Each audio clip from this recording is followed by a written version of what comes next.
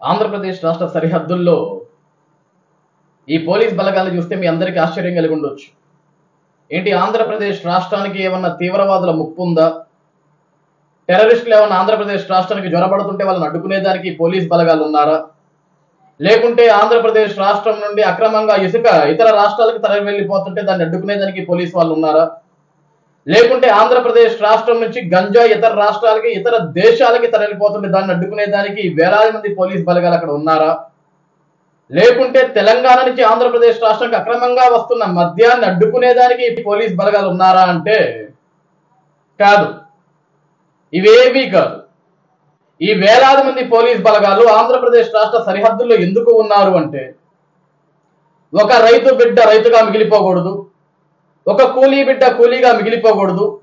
ఒక రిక్షా తొక్కేవాడి బిడ్డ రిక్షా తొక్కేవాడిగా మిగిలిపోకూడదు. ఒక ఆటో నడుపుకునేవాడి బిడ్డ ఆటో నడిపేవాడిగా మిగిలిపోకూడదు. పేద బడుగు బలహీన వర్గాలకు సంబంధించిన బిడ్డలు ఎవ్వరూ కూడా పేదవాడిగా మిగిలిపోకూడదు. గొప్ప చదువులు చదువుకోవాలి. చదువుకున్న ప్రతి ఒక్కడు కూడా లక్షల జీతాన్ని అందుకోవాలి అని తమకు ఒక లక్ష్యాన్ని తమకు ఒక మార్గాన్ని చూపించిన వ్యక్తిని కలిసేదానికి.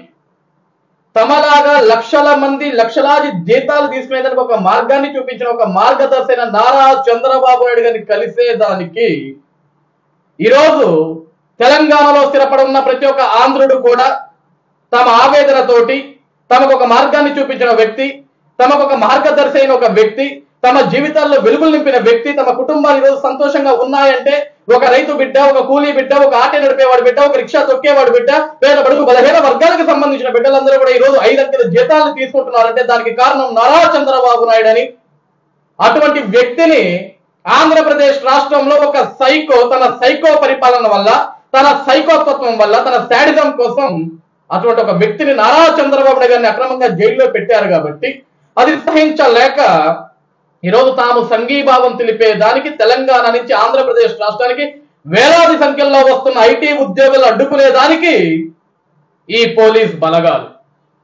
ఈరోజు వచ్చే ఐటీ ఉద్యోగులు ఎవరు కూడా వైఎస్ జగన్మోహన్ రెడ్డి ఇంటి మీద దాడి చేసేదానికో లేకుంటే ఆంధ్రప్రదేశ్ రాష్ట్రంలో అల్లర్లు చేసేదానికో లేకుంటే ఆంధ్రప్రదేశ్ రాష్ట్రంలో లా అండ్ ఆర్డర్ని సర్వనాశనం చేసేదానికో డిస్టర్బ్ చేసేదానికో కాదు వచ్చేది. తాముకు మార్గాన్ని చూపించిన ఒక మార్గదర్శి తమ జీవితాల్లో వెలుగు నింపిన నారా చంద్రబాబు నాయుడు గారికి సంఘీభావంగా వస్తున్న ప్రతి ఒక్క ఐటీ ఉద్యోగిని అడ్డుకునేదానికి. అవసరమైతే అరెస్ట్ చేసేదానికి అవసరమైతే కేసులు పెట్టేదానికి అవసరమైతే కేసులు పెట్టి జైల్లో తరలించేదానికి ఈ పోలీస్ బలగాలు ఈ మొహరింపు. ఎందుకు జగన్మోహన్ రెడ్డి ఎంత భయం నీకు? చంద్రబాబు నాయుడిని చెరసాల్లో వేస్తే నువ్వు సంతోషపడుతున్నావు అనుకున్నా. చంద్రబాబు నాయుడు గారు జైలుకు వెళ్ళిన వరుక్షణం నుంచి నువ్వు అడుగడుగునా భయపడుతున్నావు?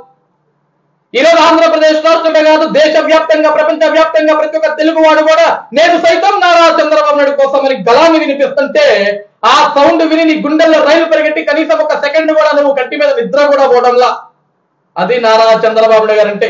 నువ్వు పదహారు నెలలు జైల్లో ఉన్నప్పుడు ఏ ఒక్కడన్నా నీ గురించి ఈ విధంగా ఆలోచించుంటాడా జగన్మోహన్ రెడ్డి? ఎందుకంటే అవినీతి పరుడు ఎప్పుడూ అవినీతి పరుడే.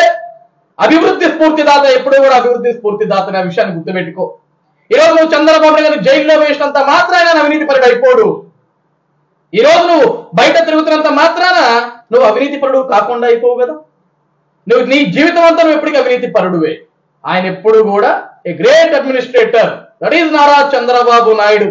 ఈ రోజు నువ్వు ఎంత మంది వేలాది సంఖ్యలో లక్షలాది సంఖ్యలో పోలీస్ బలగాలు పెట్టాలని చూసినా భయపెట్టాలని చూసినా కేసులు పెట్టాలని చూసినా అక్రమంగా అరెస్టు చేయించాలని చూసినా సరే నీ లాఠీలతోటి మా మీద దెబ్బలు వేయించాలని చూసినా సరే భయపడే దానికి ఇక్కడ ఉంది ఐదు రూపాయల జీతం తీసుకునే వైఎస్ఆర్సీపీ పార్టీ కార్యకర్త కాదు.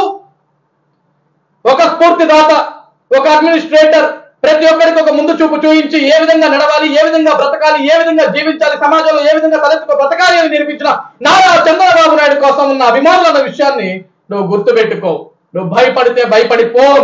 నువ్వు వెనకడుగు వేయమంటే వెనకడుగు వేయం. మేము తెగిస్తే నీ తాడేపల్లి ఉనికిపోద్ది నీ తాడేపల్లి షేక్ అయిపోద్ది జగన్మోహన్ రెడ్డి విషయాన్ని గుర్తుపెట్టుకో. ఈ రోజు నువ్వు భయపడ్డావు మేము భయపెట్టాం. జైల్లో కూర్చున్నా సరే నారా చంద్రబాబు నాయుడు గారు అనుక్షణం నిన్ను భయపెడుతూనే ఉన్నాడు నువ్వు భయపడుతూనే ఉన్నావు అనే విషయాన్ని గుర్తుపెట్టుకో.